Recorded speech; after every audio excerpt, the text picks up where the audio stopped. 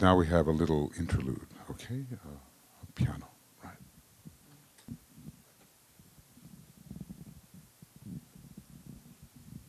Good morning. I'm so thrilled to be able to play with and for you, and I just want to set, briefly set the context. I've been playing for a little while with the notion of baby steps. The idea that if we make one small change in our daily routine, in business, in our thinking, in, in our behaviors, what would be the compound effect of that over time? And so I like playing with the familiar and the mystery and the play. I like not knowing what's going to happen. But what if we start here in our familiar?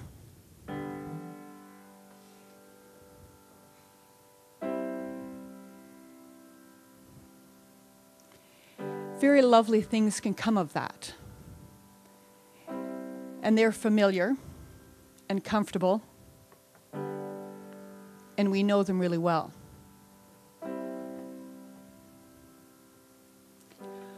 What if I make one small change?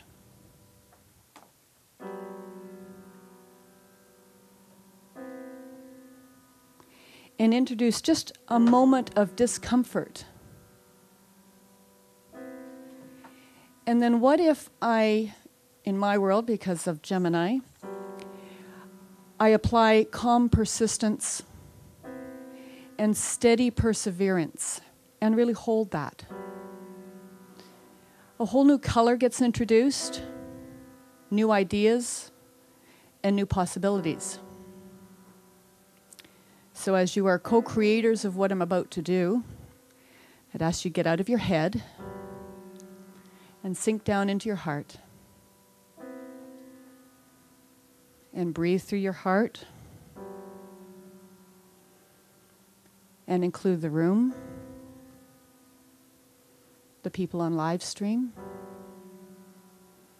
And there may be something that you want to make one small change in.